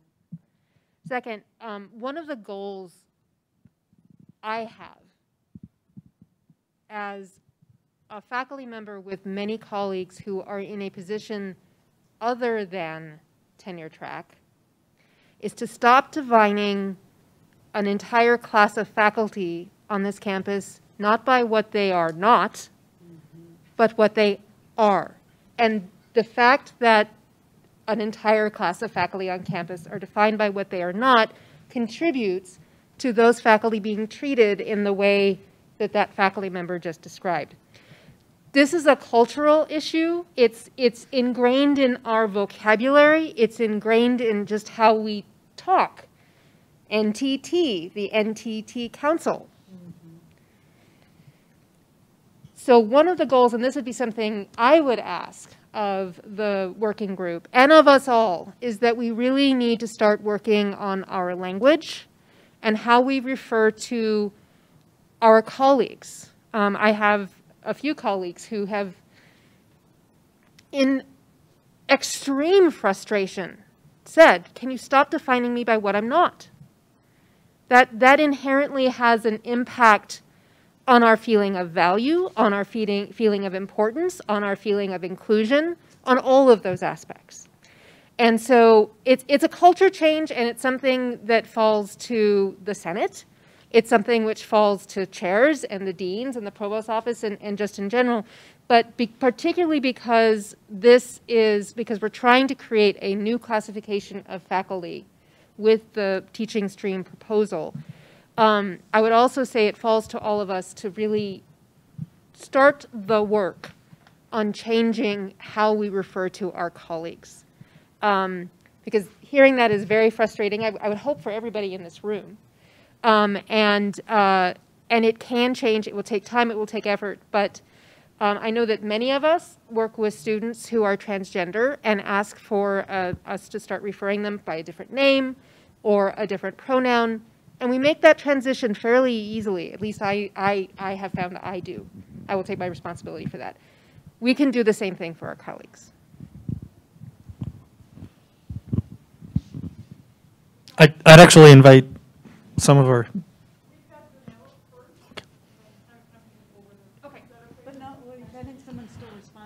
yeah, I think, I think there's some follow-ups on this particular topic. Roy was, yeah. So I think one of the advantages of the teaching stream proposal is to help break down some of those, exactly some of those distinctions that shouldn't be made. Um, that's why I'm a proponent of this of this teaching stream idea. I would also say that you know one of the things that's built into our culture, which is a positive thing, is this idea of differentiated workload and recognizing that everyone who works at NAU in some kind of faculty capacity has a we don't all do the same thing and we get recognized for that differentiated workload and evaluated on the basis of uh, do we do more teaching? Do we do more research? Do we do what combination of things that we do? So I, I think i mean when i first came here i thought wow that's a really cool idea. You know other places that i was associated with didn't have that. So i think it's it's really consistent with that sort of historical idea. Let's value people for what they bring to the table and what they do. And this is just another step along the way to help making that a reality.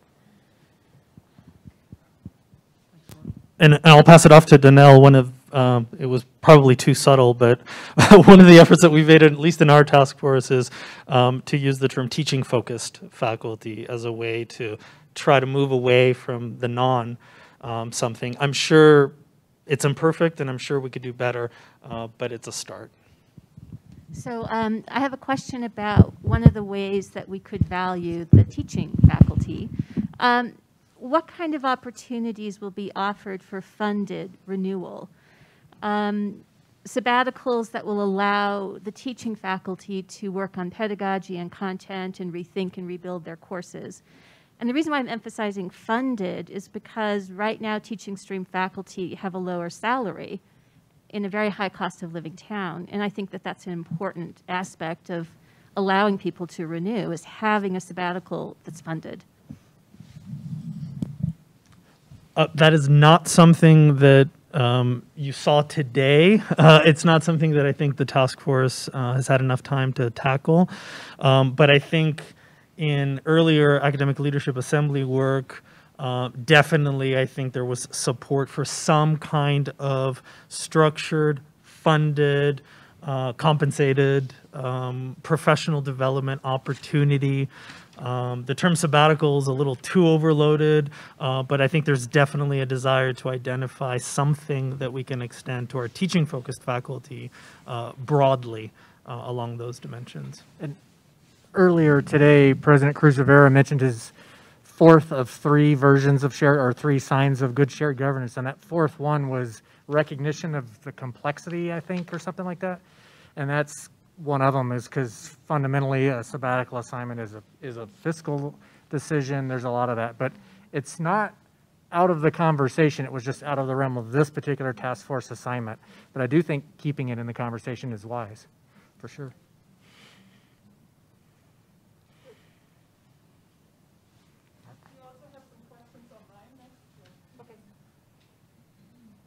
Hi, uh, thank you everybody for working on this. Uh, I guess I have a, a question about what's next. Like, I'm familiar with that this is a set of recommendations, but what happens with them?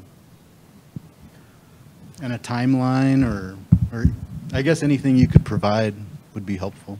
Uh, a lot and not a lot of time. Uh, I think uh, I think the next step um, is for the task force to really reflect on on the feedback that we hear here, uh, and return to the academic leadership assembly and the provost uh, with our recommendations. Um, what happens from there um, is, I think, up to that group and those structures.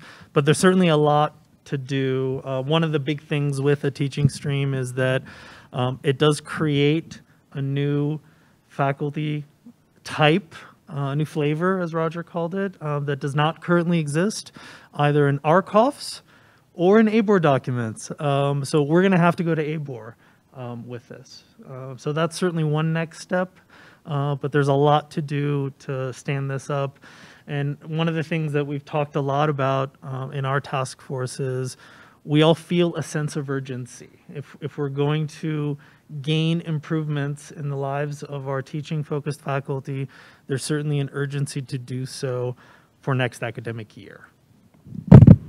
And yes, yes, yes, just to add to that, that uh, one of the reasons to kind of give some focus to the charge of this task force is because of this timeline issue if, uh, what we need to be able to do is reach a decision and go to the board with a formal proposal essentially in January. Uh, And really, we should have an idea of what we want to do in advance of that.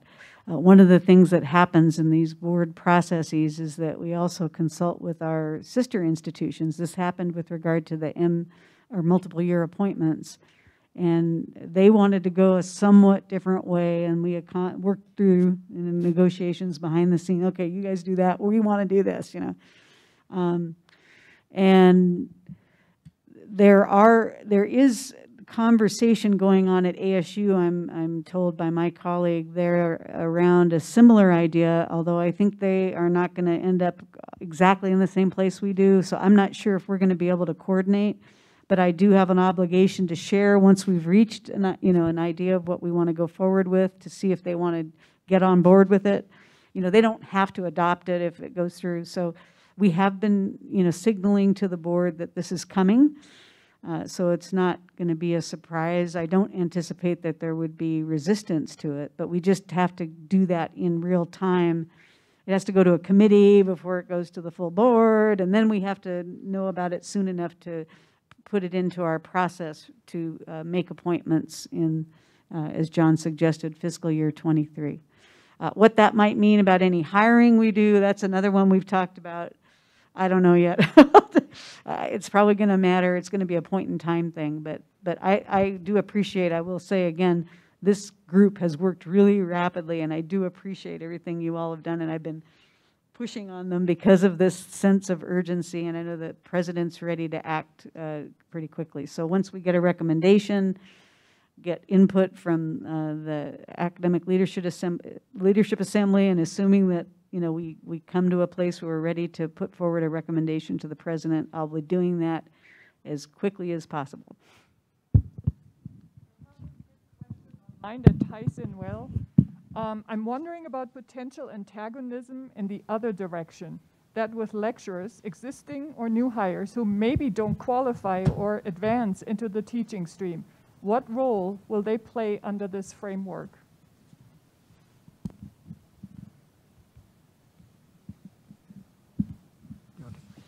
Based on the, the current understanding, and I'll let the task force members add to this, the, based on the current understanding, most, a- an awful lot, in fact, potentially all current lecturers could fall under the interpretation.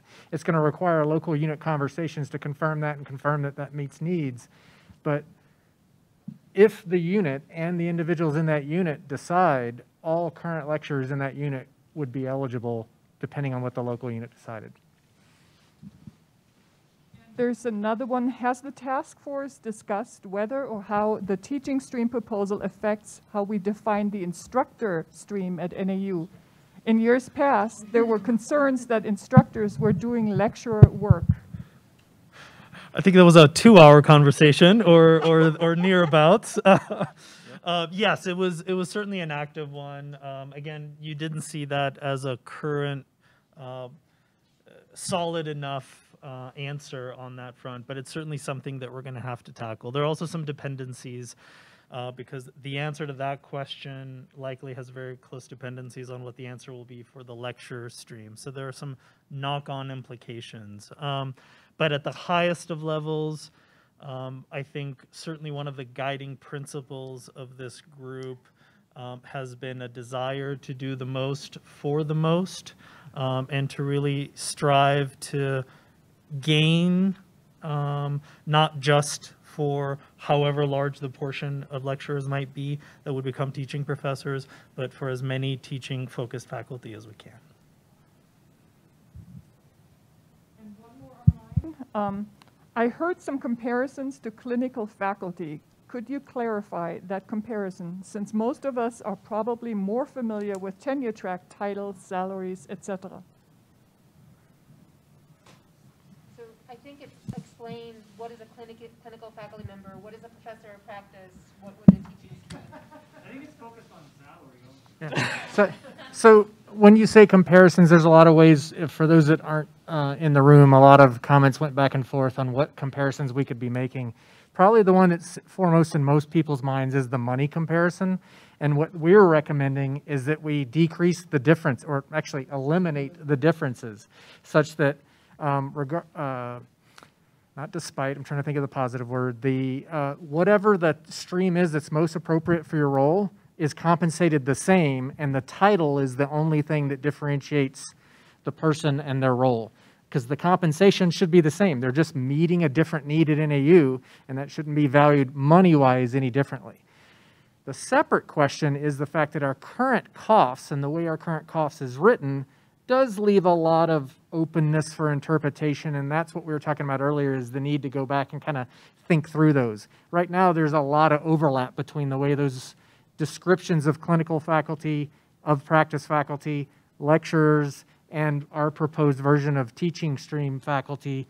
We'll need to have those conversations as we revisit COFs. Our goal right now is to be as inclusion, as inclusive as possible and to get those equity issues of both pay and job security through multiple year appointments flattened and equal. Does that, I don't know where the, okay.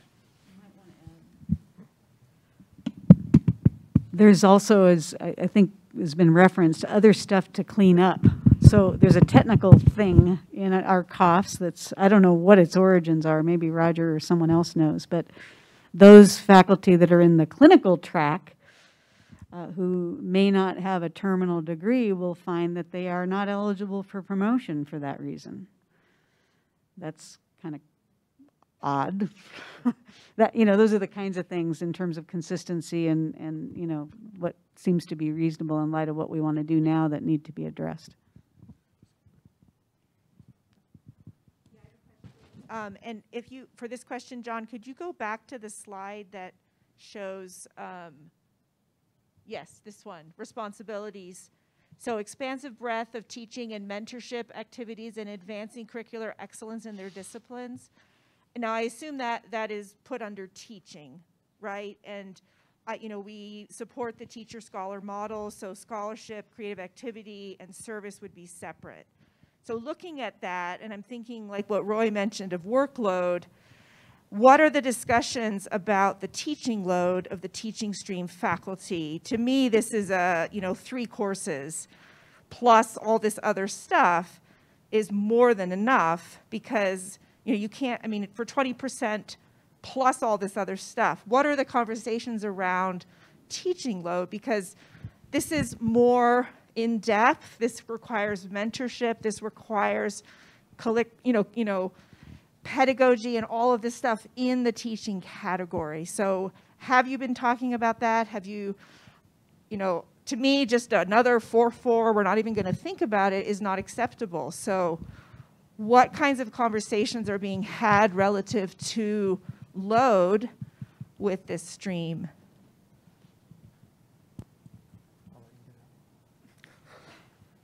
You know you're in trouble when Roger just looks at you pointedly. um, so so we we haven't tackled that question in an, in, a, in that explicit of a way. Um, the structure of this presentation follows how COF's definitions are structured today. So if you look, for example, at the at the lecturer definition or the clinical definition, um, you won't see the type of nuance that I think um, your question really points to. Um, so we haven't tackled that yet. We need to, and we should. Um, and there, our work will then intersect with the workload task force that is working in parallel. And then I just want to suggest a different interpretation. And um, I, you know, I don't see those things as being different than what we would expect our tenure eligible faculty to do. And they may be assigned in addition to teaching and what some of that stuff we'd put into the bucket of service, not all of it uh, a research assignment. So I guess I wouldn't, I just I caution against interpreting it as pointing to workload because that's not the intention as I understand it. Uh, we expect all of our people that are teaching, regardless of stream, to be thinking about pedagogy, to be thinking, and if they're engaged in the department or units, collective work around the cultivation and stewardship of curricula, that falls into the areas of workload that we already recognize. That shouldn't be a change. one of our uh, task force members happens to be a clinical faculty, and when we were discussing this and this came up, I recall the statement saying, that's exactly what I already do, describing that in terms of the teaching roles. So we do need to have these conversations, and it, the workload question is kind of separate. Questions online. The first one is, uh, thank you so much for this. It is very exciting. Is there any idea at this point about how many of these positions would be available per current eligible lecturer? All 50%, 10%? And then the second question that relates to it is, can we, um, can we clarify that the teaching stream would be given to all current lecturers? Or are you all saying we will be dependent on our units deciding if we can be moved to the, the teaching stream?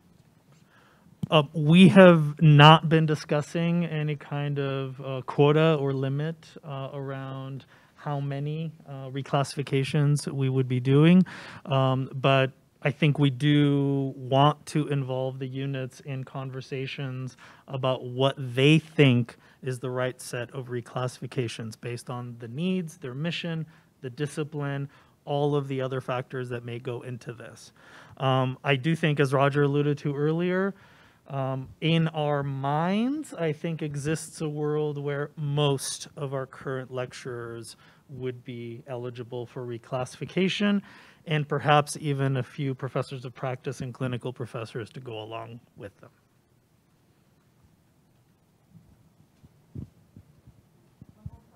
Online. And I think we've kind of addressed it, but I'll uh, read it again. I appreciate everyone on the task force seeking input. Thank you. What will be some of the differences between lecturer and teaching stream tracks that you can anticipate?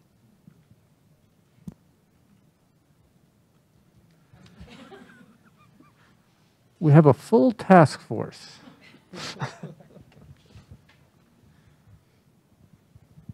um, this, yeah, this really doesn't sound like it works.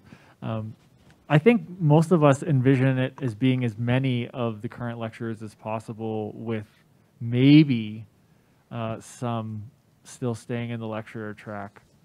Um, if they're only teaching, you know, like one kind of course, basically, and not doing much else. So that's kind of where we're at. Um, some of us wanted to just eliminate the lecture stream, but it seems that's not possible.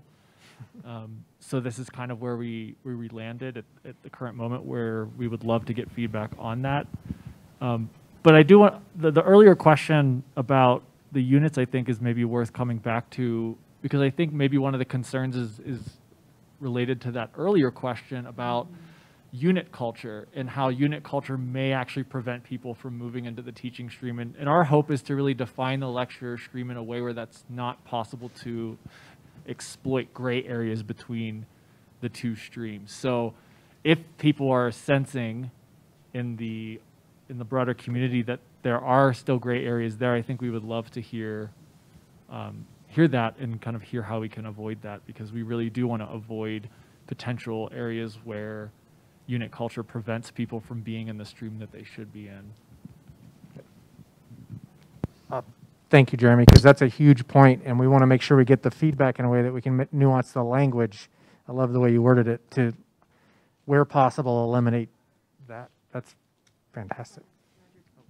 So one thing I would like, two things I'd like to bring to the attention, and, and I know you've talked about this, but just for the room and for everybody online, we need to be careful about not creating a lower class of faculty in the process of most of the faculty being moved into a teaching stream or principal or uh, um, um, practice or, or clinical with the unintended consequence of a lower class of faculty. We did that. That's the last thing lecturers, current lecturers need is to feel left behind.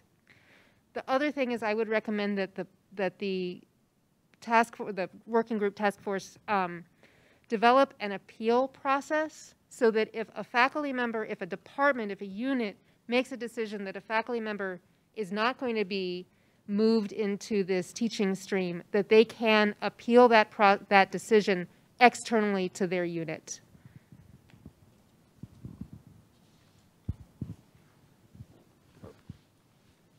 Paul. Yes, I wanted to just dovetail off of what Kate was saying earlier about equity. Uh, I think one thing to consider is removing the name teaching professor uh, from the title, maybe keeping it within internal documents for promotion purposes, but as far as formal title, you know, externally facing to students, to the public, remove uh, the, ti- the title of teaching as assistant associate professor. We're all doing the same job, whether we're NTT or TT. Some are administrators, but I think there should be a, a discussion about removing the term teaching from the formal title, maybe just using it for uh, internal promotion purposes. The other uh, just comment would be in terms of the whole teacher scholar model, uh, in that many NTT have done inordinate amounts of research and have published uh, exceeding amounts of work. So I would like to see potentially in this teaching stream some way of recognizing uh, an allocation maybe on the SOE uh, that if an NTT in this teaching stream wants to publish, they can get recognized for it uh, on uh, their SOE. Because I've, in my entire nearly 12 years here, I've had my research count, not count for many, many years, count a little bit, but I could only do so much, even though I was writing way more than my allocated amount. So I think there should be a discussion about uh, rewarding faculty who are uh, writing, who are doing uh, the important scholar component of bringing that research into the classroom. Thank you.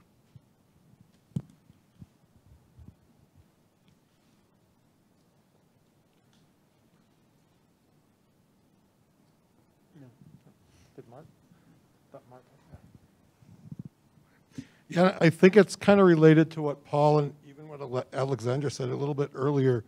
Um, thanks so much for throwing that piece in there as far as teaching stream faculty being able to serve as PI without having to fill out the form. That will be greatly appreciated, um, for sure. But also, you know, for folks like Paul or people who have, you know, um, are you implying an encouragement for teaching stream faculty to engage more in research and scholarship and seek out extramural funding and seek out a greater level of research and scholarship within their? SOE? Our discussions were not, I'll, I'll open it up, but that did not come up as any kind of intentional encouragement. Paul's question brings that up as, you know, is it intentional encouragement or allowed interest? I mean, there's both of those play there. Um, neither of those were part of our discussions. Right, I think um, th- there are, there are many different um, reifications of high-level conceptualizations. Uh, I think what lived in most of our minds was uh, uh, a sense of teaching stream faculty modeling what excellent pedagogy looks like and helping their units advance along that dimension by, again, through that modeling and um, currently, it, I think in most of our minds, uh, through an emphasis of their service activities along that dimension.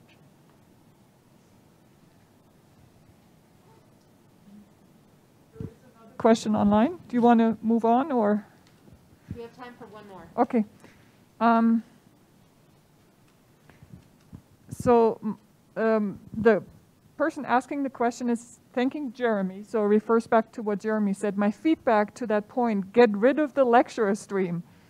Have way fewer NTT streams. Creating more streams creates more levels in a hierarchy, and it's hard to distinguish between them. And then a f- kind of related one is I would argue that foregrounding teaching in the title emphasizes its value, and there has traditionally been a dismissal of the value of teaching in comparison to research. That was an online question, and, and, and Astrid, as you work your way back to give Jeremy the uh, microphone, I'll say that this conversation has been had amongst the, the group quite ferociously, I, I might add, with, with recommendations like, we, we hypothesized that, well, what if there's just the teaching stream? No lectures, no clinical, no uh, practice, just the teaching, because when you read that, it sounds like that. That that's that wasn't out of the conversations, but that kind of wholesale change wasn't necessarily our task either. So, Jeremy. Yeah, I- wanted to just quickly respond to kind of what Paul was saying, that this question and um, the, the earlier comments by Kate about NTT, because I think that while, while certainly all perspectives that, um, you know, don't like certain terms are important, there's also been a feeling when I was NTT and a lot of people I talked to, that NTT and, and kind of teaching stream titles were important because they also named a difference in privilege um, that is a reality, right? This difference between the non-tenure track and the tenure track as something that we don't want to just completely obliterate from talking about. And, when we when we just have the same titles as people who have more privilege than us and get paid more than us and all these other things, well, now I'm on the tenure track, so I can't say that anymore. Um, that I think there's a danger there. There's a danger in not uh, in, in in it normalizing that, and so I think the value that that NTT folks have talked about with NTT or maybe even the teaching professor stream is it, it has a value in terms of one one thing we wanted to do is call more of our faculty and maybe hopefully all of our faculty professor. Um, but if we just call them professor, then it's alighting that important difference in faculty conditions that some of us at least do want to eventually get rid of completely, although that's not what we're talking about here today. So I just wanted to throw that perspective in there alongside the, the important perspectives of yes, these are not ideal identities uh, either. And we are at 5 o'clock. So I want to thank everybody who joined us in person, everybody that joined us online for this very important discussion on the teaching stream. This is a, this is a very exciting potential change and, and growth in, um, for all, for so many of our faculty. And um, hopefully, again, a, a growth in the respect and value that we are demonstrating for them. So thank you again, everybody, for joining us. Thank you for everybody online. Um, I'm going to give another thank to President Cruz Rivera for joining us for the first hour, and to Karen, Roger, John, and the entire um, working group for their time today. Thank you so much, and have a great afternoon.